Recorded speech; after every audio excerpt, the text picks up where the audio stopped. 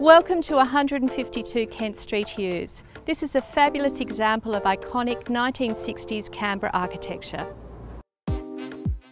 Recognised as being significant to Australia's architectural history, this development was featured in the recent ABC documentary Streets of Your Town and in the book 100 Canberra Houses, A Century of Capital Architecture by Tim Reeves and Alan Roberts. The house was one of 12 commissioned by the NCDC and designed by John Taylor of Leith and Bartlett for senior public servants.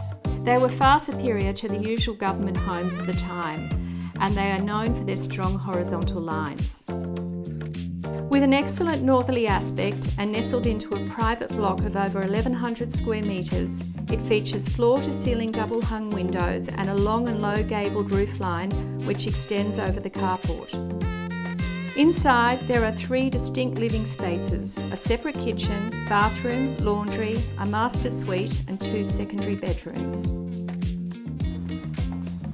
This home was designed well ahead of its time to take full advantage of the bushland setting and the wonderful aspect. It creates a seamless flow from inside to outside.